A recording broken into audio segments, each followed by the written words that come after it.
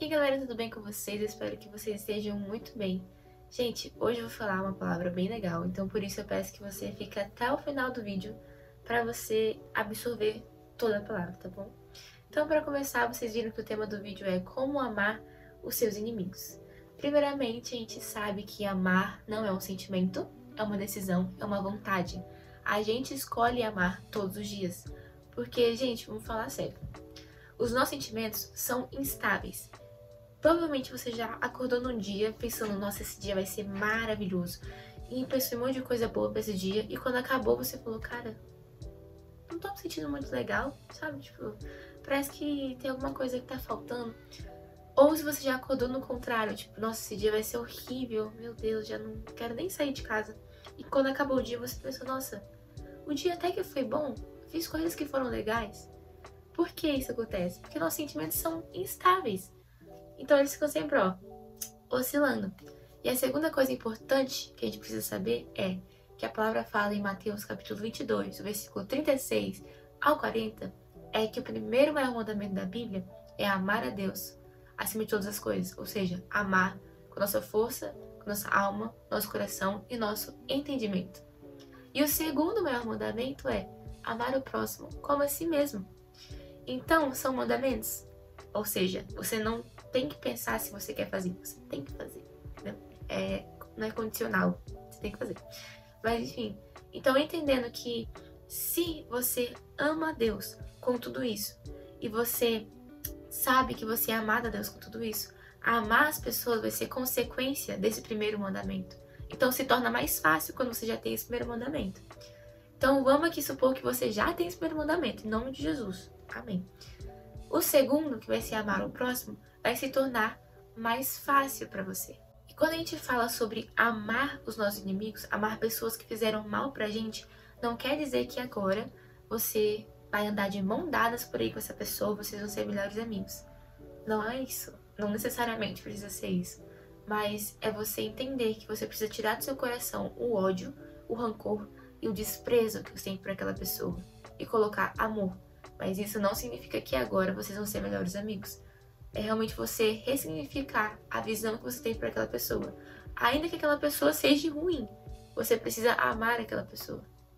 Agora, se você for igual a mim, que nunca fez algum inimigo na vida, fica aqui até o final para você entender. Porque eu sempre achei a palavra inimigo muito forte. É claro que já houve pessoas que me magoaram, que fizeram algo mal para mim, mas eu nunca coloquei ela, tipo assim, num poço como se fosse inimigo da minha vida. Eu odeio aquela pessoa. Porém, o que eu quero falar com vocês é algo um pouquinho mais profundo. Se você, assim como eu, nunca fez um inimigo, mas já teve pessoas na sua vida que você não conseguia mais olhar na cara, que você não conseguia mais ouvir, tipo, a voz da pessoa te irritava, tá com a pessoa te deixava assim, louca. Deixa eu te falar uma coisa. Esse é o primeiro passo para você começar a odiar alguém. Você sabia que o desprezo é o primeiro passo para você entrar num ciclo de ódio por uma pessoa?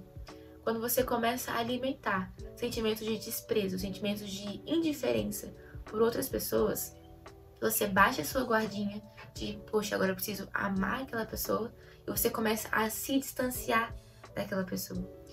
E eu quero deixar aqui bem claro que você nunca vai gostar de todas as pessoas no mundo, porque pessoas são diferentes de você e você é diferente daquelas pessoas. Vai haver coisas que vão dar conflito, mas isso não impede você de amar todas as pessoas. Então, voltando, assim como eu nunca observei que eu tinha inimigos, eu comecei a observar que existiam pessoas na minha vida que me estressavam ao ponto de eu criar um desprezo por aquelas pessoas. Ao ponto de eu falar, cara, não dá, sai daqui. Mas, o que eu quero falar com vocês hoje é como você combater esse sentimento de desprezo. Porque se você alimenta esse desprezo, você vai alimentando, vai alimentando, vai alimentando, você vai gerar um ódio por aquela pessoa. E você vai ir totalmente contra o que a Bíblia fala para você fazer. Eu quero falar aqui para vocês como foi a minha experiência de quebrar o desprezo por pessoas na minha vida. Primeiramente, eu entendi esse conceito. Se eu quero amar alguém que eu não amo agora, eu preciso agir como se eu já amasse essa pessoa. Eu preciso ter comportamentos de como se eu já amasse essa pessoa. Ou seja, a pessoa que eu não gosto tá andando por aí. Eu vou dar bom dia, eu vou dar boa tarde, vou dar boa noite, vou perguntar se tá bem. Eu vou procurar é, oportunidades para eu poder ajudar aquela pessoa, para eu poder, sabe, me disponibilizar para estar com aquela pessoa. E eu não tô falando que você tem que começar a fabricar um sentimento falso por essa pessoa. Eu quero que você se coloque nesse lugar e se pergunte o seguinte: se eu tivesse certeza que eu amasse essa pessoa, quais são as coisas que eu faria para amar essa pessoa? Quando você responder isso, você vai lá e faz isso que você respondeu. Por quê? Quando você age como se você já amasse essa pessoa, consequentemente você vai acabar amando essa pessoa, você vai criar empatia com ela, você vai criar uma conexão com essa pessoa. E você vai parar de desprezar ela, parar de odiar ela. Então, primeiro passo, funciona, façam. E se para você isso é muito absurdo e muito difícil, então começa a fazer isso com pessoas que você já sabe que você ama. Começa a se colocar nesse lugar de amar essas pessoas intencionalmente, sabendo que você tá amando. E aí você vai começar criando prática. Como eu sempre falo para vocês, nenhuma virtude nasce do nada. Você precisa praticar ela, você precisa ter oportunidades para praticar ela. Então começa praticando com pessoas que você já ama. Depois, vai e pratica com essas pessoas que você não gosta tanto. E você vai ver como isso vai mudar a sua visão sobre aquelas pessoas. Tá bom, gente? Então é isso que eu quero deixar para vocês essa semana. Haja como se você já amasse essas pessoas.